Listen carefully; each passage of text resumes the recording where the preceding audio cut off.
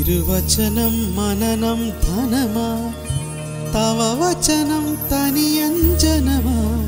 തിരുലിഖിത ചുരുളുകളഴിയാ തിരുഹിതമറിയാൻ.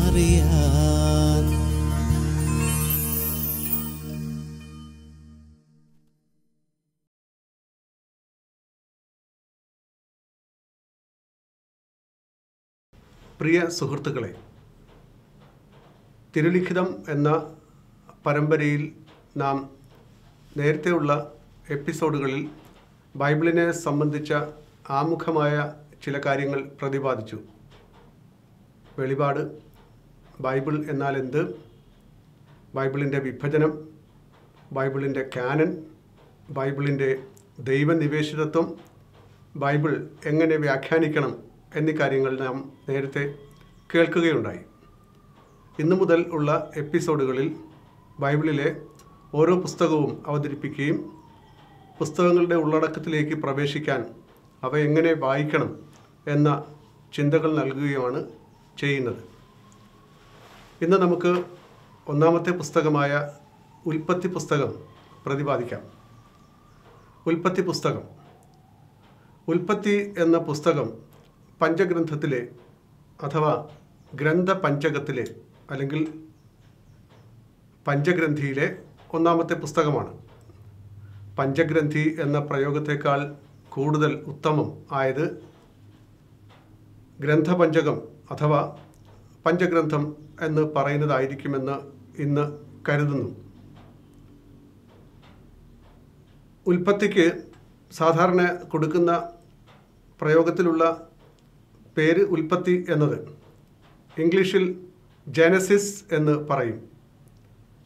യഥാർത്ഥത്തിൽ അതിന്റെ ഹീബ്രു നാമം ബെറഷിത്ത് എന്നത് ആണ്. ജനസിസ് ഉൽപ്പത്തി എന്ന മലയാളം പരിഭാഷ വരാൻ കാരണം അത് രണ്ടാമധ്യായം നാലാം വാക്യത്തിലുള്ള ഗ്രീക്ക് ഉള്ള വാചകത്തിന്റെ നാലാം വാക്യത്തിലുള്ള വാചകത്തിന്റെ പരിഭാഷയുടെ അടിസ്ഥാനത്തിലാണ്. നാലാം വാക്യത്തിൽ ഇപ്രകാരം പറയുന്നു ആകാശത്തിന്റെയും ഭൂമിയുടെയും ഉൽപ്പത്തി അവയുടെ ചരിത്രം എന്ന്.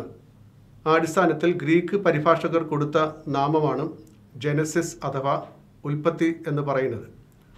ബെരഷിത്ത് എന്ന ഹീബ്രു വാക്കിന്റെ അർത്ഥം ഇൻ ദ ബിഗിനിങ് ആദിയിൽ എന്നാണ്. ആ അർത്ഥത്തിലാണ് ഹെബ്രായർ ഈ പുസ്തകത്തിന് ബെരഷിത്ത് എന്ന പേര് കൊടുത്തിരിക്കുന്നത്. ഈ പുസ്തകത്തിന് പ്രധാനമായും രണ്ട് ഭാഗങ്ങൾ ഉണ്ടെന്ന് പറയാം. ഒന്നാമത്തേത് മനുഷ്യന്റെ സൃഷ്ടിയും മനുഷ്യരാശിയുടെ വ്യാപനവും. അത് രണ്ടാം അധ്യായം നാലാം വാക്യം മുതൽ പത്തൊൻപതാം അധ്യായം പതിനൊന്നാം അധ്യായം ഒൻപതാം വാക്യം വരെ. രണ്ടാം ഭാഗം അബ്രാഹത്തിന്റെയും അദ്ദേഹത്തിന്റെ സന്തതി പരമ്പരയുടെയും ചരിതം. അത് പതിനൊന്നാം അധ്യായം പത്താം വാക്യം മുതൽ അൻപതാം അധ്യായം ഇരുപത്തി ആറാം വാക്യം വരെ. ഇതിൽ ആദ്യ ഭാഗം ദൈവത്തെയും ജനതകളെയും കുറിച്ച് പ്രതിപാദിക്കുന്നു. രണ്ടാം ഭാഗം ദൈവത്തെയും ഒരു പ്രത്യേക ജനതയെയും കുറിച്ച് പ്രതിപാദിക്കുന്നു. തുടക്ക ഭാഗമായ അതേക്കുറിച്ച് നേരത്തെ പറഞ്ഞില്ല. ഒന്നാം അധ്യായം ഒന്നാം വാക്യം മുതൽ രണ്ടാം അധ്യായം മൂന്നാം വാക്യം വരെയുള്ളത് രണ്ട് ഭാഗങ്ങളിൽ നിഴലിക്കുന്ന രണ്ട് ആശയങ്ങൾ അവതരിപ്പിക്കുന്നു. അതായത് രണ്ടാം അധ്യായം നാലാം വാക്യം മുതൽ പതിനൊന്നാം അധ്യായം വരെയുള്ളതും അതിനുശേഷം പതിനൊന്നാം അധ്യായത്തിന്റെ ചില ഭാഗങ്ങൾ തുടങ്ങി അൻപതാം അധ്യായം വരെയുള്ള ഭാഗങ്ങളിൽ നിഴലിക്കുന്ന രണ്ട് ആശയങ്ങൾ ഇവിടെ ഒന്നാം അധ്യായം ഒന്നാം വാക്യം മുതൽ രണ്ടാം അധ്യായം മൂന്നാം വാക്യം വരെയുള്ള ഭാഗങ്ങളിൽ അവതരിക്കുന്നു അവതരിപ്പിക്കുന്നു. ഒന്നാമത്തേത് ചിന്ത. അതായത് ആദ്യ ജോഡികൾക്ക് അവർ മനുഷ്യരാശിയെ മുഴുവൻ പ്രതിദാനം ചെയ്യുന്നവരാണ്. ആ ജോഡികൾക്ക് ദൈവം നൽകുന്ന കൽപ്പന ദൈവം നൽകുന്ന കൽപ്പന. സന്തതികളെ ജനിപ്പിക്കുക ഭൂമി കൈവശമാക്കുക. ഒന്നാം അധ്യായം ഇരുപത്തിയെട്ടാം വാക്യം പ്രകാരം നാം വായിക്കുന്നു. ദൈവം അവരെ ഇങ്ങനെ അനുഗ്രഹിച്ചു. സന്താന പുഷ്ടിയുള്ളവരായി ഭൂമിയിൽ പെരുകുവിൻ. ഭൂമിയിൽ നിറഞ്ഞ് അതിനെ കീഴടക്കുവിൻ. കടലിലെ മത്സ്യങ്ങളുടെയും ആകാശത്തിലെ പറവകളുടെയും ഭൂമിയിൽ ചരിക്കുന്ന സകല ജീവികളുടെയും മേൽ നിങ്ങൾക്ക് ആധിപത്യം ഉണ്ടായിരിക്കട്ടെ. ഇതിൽ രണ്ട് കാര്യങ്ങൾ ഉൾച്ചേർന്നിരിക്കുന്നു. ഒന്നാമത് സന്താനപുഷ്ടി ഉണ്ടാകുക വർദ്ധിക്കുക. അതിനുശേഷം ഭൂമിയെ കീഴടക്കുക ഭൂമി കൈവശമാക്കുക എന്ന്. ആദ്യ ഭാഗത്ത് ഇത് എല്ലാ ജനതകളെയും സംബന്ധിച്ച് ഉള്ളതാണ്. അതിന്റെ ജന എല്ലാ ജനതകളുടെയും വംശാവലികളുടെയും രൂപത്തിൽ അത് അവതരിപ്പിക്കപ്പെടും. രണ്ടാം അധ്യായം തുടങ്ങി ഒൻപതാം അധ്യായം വരെ. ഭൂമി പങ്കിടുന്നതിന്റെയും അവിടെ ആ ഭൂമി കൈവശമാക്കുന്നതിന്റെയും ഒക്കെ ആശയം പിന്നീട് പത്തും പതിനൊന്നും അധ്യായത്തിലും കാണാൻ സാധിക്കും. രണ്ടാം ഭാഗത്ത് ഇത് പൂർവപിതാക്കന്മാരുടെ സന്തതികളുടെയും ഭൂമിയുടെയും വാഗ്ദാനങ്ങൾ നൽകുന്ന രൂപത്തിൽ പ്രത്യക്ഷപ്പെടുന്നു. പൂർവപിതാക്കന്മാർക്ക് ഭൂമി കൊടുക്കുന്നു. അത് അവർ ആർക്ക് നൽകുന്ന ആരത് കൈവശമാക്കുന്നു എന്ന ചിന്ത. ഈ രണ്ട് ഭാഗങ്ങളിലും തെളിഞ്ഞു നിന്ന് വരുന്ന മറ്റൊരാശയം ഒരാശയ സമീകരണം വ്യക്തമാണ്. അതായത് ഒരുതരം വംശാവലി വിവരണം ഇവിടെ നടക്കുന്നു. വംശാവലി എന്നതിന് ഹീബ്രുവിൽ തോളെദോത്ത് എന്ന് പറയും. അത് ആദ്യ ഭാഗത്ത് അഞ്ച് പ്രാവശ്യവും അതായത് രണ്ടാം അധ്യായം നാലാം വാക്യത്തിൽ അഞ്ചാം അധ്യായം ഒന്നാം വാക്യത്തിൽ ആറാം അധ്യായം ഒൻപതാം വാക്യത്തിൽ പത്താം അധ്യായം ഒന്നാം വാക്യത്തിൽ പത്താം അധ്യായം മുപ്പത്തി ഒന്നാം വാക്യത്തിൽ. ഇവിടെയെല്ലാം ഈ തോളദോത്ത് അല്ലെങ്കിൽ വംശാവലി എന്ന പദം ഉപയോഗിച്ചിരിക്കുന്നു പ്രയോഗം ഉപയോഗിച്ചിരിക്കുന്നു. അത് ഒന്നാം ഭാഗത്ത്. രണ്ടാം ഭാഗത്തെത്തുമ്പോഴും അഞ്ച് പ്രാവശ്യം അഞ്ച് പ്രാവശ്യം ഇത് പ്രത്യക്ഷപ്പെടും.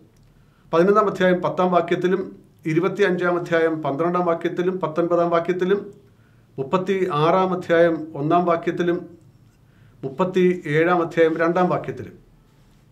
ഇതിൽ മുപ്പത്തി ആറാം അധ്യായം ഒൻപതാം വാക്യം ഒരു ആവർത്തനമാണ്. ഉദാഹരണത്തിന് അഞ്ചാം അധ്യായം ഒന്നാം വാക്യം കേൾക്കാം ഇപ്രകാരം. ആദത്തിന്റെ വംശാവലി ഗ്രന്ഥമാണിത്. അപ്പോൾ ഏതാണ്ട് പത്ത് സ്ഥലത്ത് അല്ലെങ്കിൽ പതിനൊന്ന് സ്ഥലത്ത് ഈ വംശാവലി എന്ന പ്രയോഗം പദം ഉപയോഗിച്ചിരിക്കുന്നത് കാണാൻ സാധിക്കും. ഇതിന്റെ അടിസ്ഥാനത്തിൽ നമുക്ക് അല്പമായി ഈ ഗ്രന്ഥത്തിന്റെ അവലോകനത്തിലേക്ക് പ്രവേശിക്കാം. ഒന്നാമത് ഉൽപ്പത്തി പുസ്തകം ഒന്ന് മുതൽ പതിനൊന്ന് വരെയുള്ള ഭാഗങ്ങൾ. യഥാർത്ഥത്തിൽ നാം നേരത്തെ വിഭജിച്ച അനുസരിച്ച് ഒന്ന് മുതൽ പതിനൊന്ന് വരെ ഉള്ള സാധാരണ പറഞ്ഞു വരുന്ന ചരിത്രാതീത ചരിത്രം എന്നുള്ള രീതിയിലല്ല നാം ഇതിനെ കാണുന്നത്. മറ്റൊരു രീതിയിലാണ് തോളദോത്ത് അഥവാ വംശാവലി പറഞ്ഞിരിക്കുന്നതിന്റെ അടിസ്ഥാനത്തിലാണ് നാം അതിനെ കാണുന്നത്. ഒന്ന് മുതൽ പതിനൊന്ന് വരെയുള്ള അധ്യായങ്ങളിൽ അഞ്ച് പ്രാവശ്യം അത് കാണുന്നത് ഞാൻ പറഞ്ഞല്ലോ. അതിനുശേഷം പന്ത്രണ്ട് മുതൽ അൻപത് വരെയുള്ള അധ്യായങ്ങൾ. ഇവിടെ ഒന്നാം ഭാഗം ഒന്ന് മുതൽ പതിനൊന്ന് വരെ അധ്യായങ്ങൾ. ഉൽപ്പത്തി ഒന്നാം അധ്യായം ഒന്ന് മുതൽ രണ്ടാം അധ്യായം മൂന്നാം വാക്യം വരെയുള്ള ഭാഗത്ത് ഏഴ് ദിവസങ്ങൾ കൊണ്ട് ദൈവം സൃഷ്ടി നടത്തുന്നത് അവതരിപ്പിച്ചിരിക്കുന്നു. ദൈവം തന്റെ വാക്കാൽ വചനത്താൽ ഒരു സുന്ദരമായ പ്രപഞ്ചത്തെ സൃഷ്ടിക്കുന്നു. അതിൽ മനുഷ്യന് ഏറ്റവും പ്രധാനപ്പെട്ട ഭാഗവുമാണുള്ളത്. ഉൽപ്പത്തി രണ്ടാം അധ്യായം നാലാം വാക്യം മുതൽ മൂന്നാം അധ്യായം ഇരുപത്തി നാലാം വാക്യം വരെയുള്ളത് സാധാരണ പറഞ്ഞു വരുന്നത് സൃഷ്ടിയുടെ രണ്ടാം വിവരണം എന്നാണ്. അങ്ങനെ തോന്നുമെങ്കിൽ പോലും കൂടുതൽ ശ്രദ്ധാപൂർവം വായിച്ചാൽ രണ്ടാം അധ്യായം നാലാം വാക്യം മുതൽ പതിനൊന്നാം അധ്യായം ഒൻപതാം വാക്യം വരെയുള്ളത് ഒരു കഥയാണെന്ന് വ്യക്തമാകും. അത് ഒറ്റ കഥ. രണ്ടാം അധ്യായം നാലാം വാക്യം മുതൽ പതിനൊന്നാം അധ്യായം ഒൻപതാം വാക്യം വരെയുള്ളത്. അത് പ്രധാനപ്പെട്ട കഥയായിട്ട് മാറി നിൽക്കുന്നു. അത് രണ്ടാം അധ്യായം നാലാം വാക്യം മുതൽ മൂന്ന് ഇരുപത്തി നാല് വരെയുള്ള സൃഷ്ടിയുടെ രണ്ടാം വിവരണം എന്ന രീതിയിലല്ല ഇതിനെ കാണേണ്ടതെന്ന് പറയാൻ ശ്രമിക്കുകയാണ്. നമ്മൾ മുകളിൽ പറഞ്ഞ വംശാവലി ഫോർമുലയുടെ തോളദോത്ത് ഫോർമുലയുടെ അടിസ്ഥാനത്തിൽ നോക്കുകയാണെങ്കിൽ സന്താന പരമ്പരയെക്കുറിച്ചും ഭൂമിയെക്കുറിച്ചുമുള്ള വ്യഗ്രത ഈ വിവരണത്തിൽ കാണാം.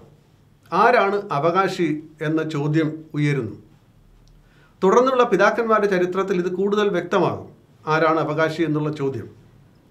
സാധാരണഗതിയിൽ വംശാവലി ഫോർമുലയുടെ ഉദ്ദേശം ഒരുവനെ ഒരു കുടുംബത്തിലോ ഒരു ഗോത്രത്തിലോ സ്ഥിരീകരിക്കുക എന്നതാണ്.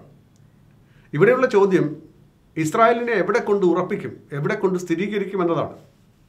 ഇസ്രായേലിനെ സൃഷ്ടിയിലും പ്രപഞ്ചത്തിലും എവിടെ ഉറപ്പിക്കും എവിടെ ഉറപ്പിച്ചു നിർത്തും എന്താണ് ഇസ്രായേലിന്റെ സ്ഥാനം ഇവിടെ എന്നുള്ളത്.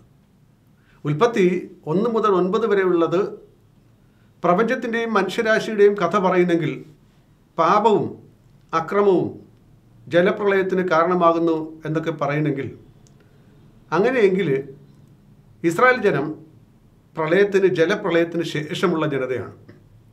അവിടെയാണ് ഇസ്രായേൽ ജനത്തെ ഉറപ്പിച്ചു നിർത്തുന്നത്.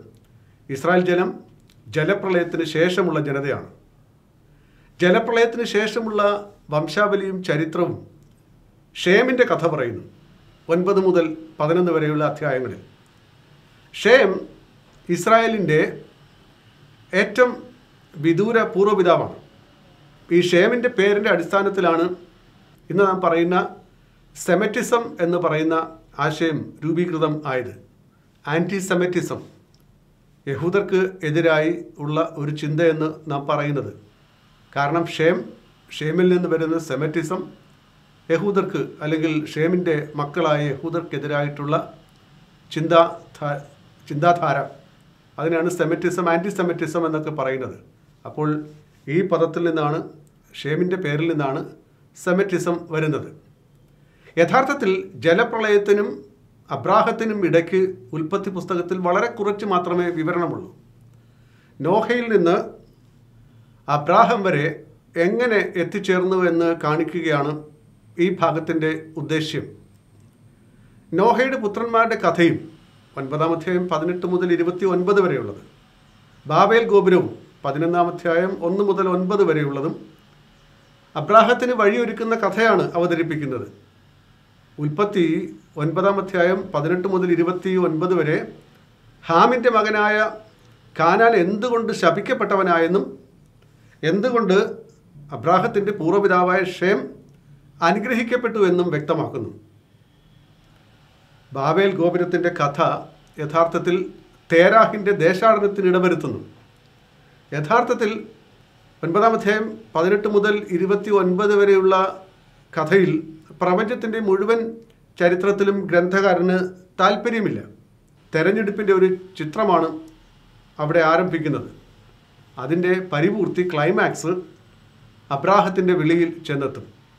അത് പന്ത്രണ്ടാം അധ്യായത്തിൽ നമുക്ക് കാണാൻ സാധിക്കും. അപ്പോൾ ഇത് ആദ്യ ഭാഗം ഉൽപ്പത്തി പുസ്തകത്തിന്റെ ഒന്ന് മുതൽ പതിനൊന്ന് വരെയുള്ള ഭാഗത്തിലെ പ്രതിപാദ്യം.